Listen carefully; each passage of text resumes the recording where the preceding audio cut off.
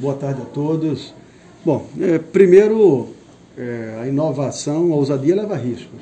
O PSDB resolveu abrir um processo com grau de democratização, utilizando tecnologia para fazer facilitar e chegar à vida do eleitor. É, e o fácil é ser inerte, o fácil é ficar acomodado. É, nós tivemos o dissabor de não funcionar o processo no domingo, na segunda-feira, um trabalho muito intenso de todo o partido, em modo especial com agradecimento é, e sinergia de todo o conjunto técnico político das candidaturas de João Dória, de Arthur Vigílio e de Eduardo Leite.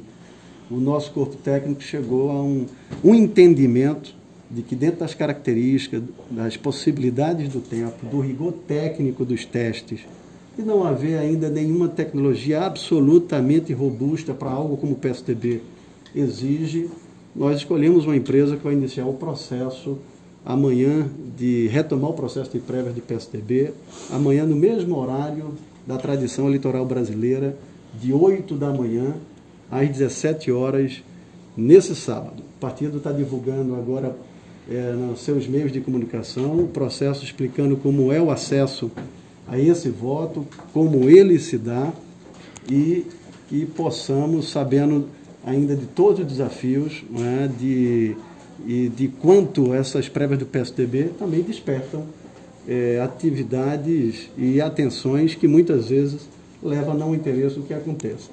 É, nós nos preparamos da melhor forma possível, vamos nos preparar ainda ao longo de toda essa tarde com as formalidades necessárias. As campanhas iniciam seu momento de comunicação com todos os seus os filiados, os seus militantes, os seus eleitores, para que amanhã o processo possa ser é, retomado. Amanhã às 8, de que horas a que horas? Amanhã de 8 da manhã às 17 horas, o mesmo horário que se dá o processo de eleições na justiça, da, do horário de justiça eleitoral. E a ideia é que nós possamos fazer, tão logo encerre, possamos fazer um processo de apuração. Uma parte dos votos, a parte segura dos votos, e aí a nossa homenagem, lembrança é, à justiça eleitoral brasileira, as urnas eletrônicas, que é a parte do processo que está devidamente protegida, lacrada e guardada.